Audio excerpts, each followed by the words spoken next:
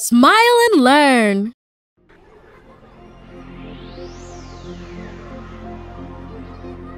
This has been my journey through the solar system, people. It was incredible. Whoa! Whoa, so cool. Amazing.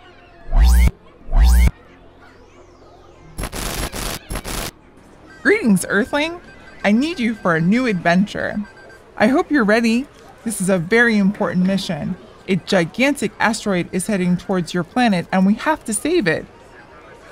We have to study the rotation and revolution movements of planet Earth to find out whether it will impact Earth or pass at a distance. Would you help me?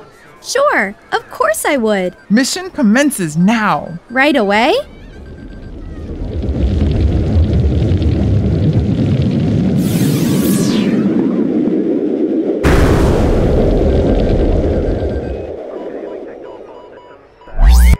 It's been ages. I've missed you. There's no time to lose. I need you to tell me everything you know about the rotation and revolution movements of planet Earth. It's your lucky day, my friend. This week we learned all about it in class, and I scored a 10. Top marks! Just like the rest of the planets in the solar system, planet Earth moves in two ways rotation and revolution. Can you see how the Earth is spinning around its axis? This movement is called rotation. The Earth spins around an imaginary line which passes through the poles. If you look closely, you'll notice that the axis is a little inclined, almost 24 degrees. It takes planet Earth 24 hours to complete one rotation on its axis, which is the equivalent of one day.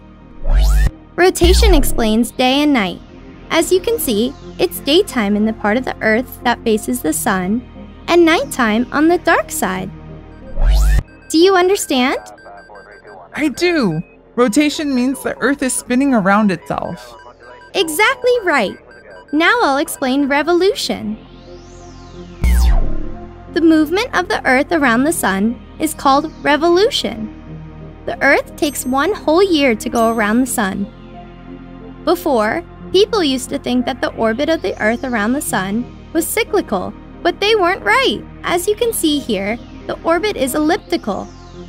Thanks to revolution and the inclination of the rotation axis of the Earth, we have four seasons spring, summer, autumn, and winter. The more the hemisphere is inclined towards the sun, the more directly the sunlight reaches the Earth's surface. It's warmer, and that's why it's summertime. By contrast, the other hemisphere is less inclined, so sunlight is less direct. That's why it's colder and it's wintertime. Here, we can see that it's summertime in the northern hemisphere and wintertime in the southern hemisphere. The opposite will occur in six months. Sunlight will reach the southern hemisphere in a more direct way, and it will be summer, while in the northern hemisphere, it will be winter.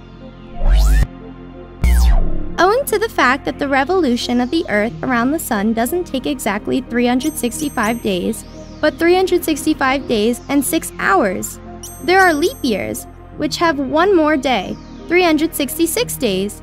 That's why every four years, February has one more day, day 29.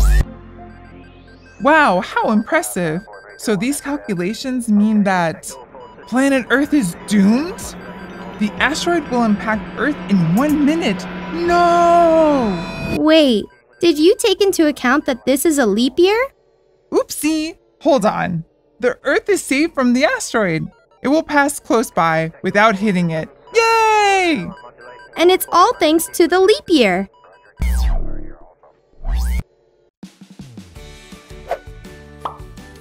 Do you want to keep on learning? Try for free our Smile and Learn platform for a month and enjoy all of our games, videos, and interactive stories. Go for it! Download Smile and Learn on your mobile, tablet, or PC.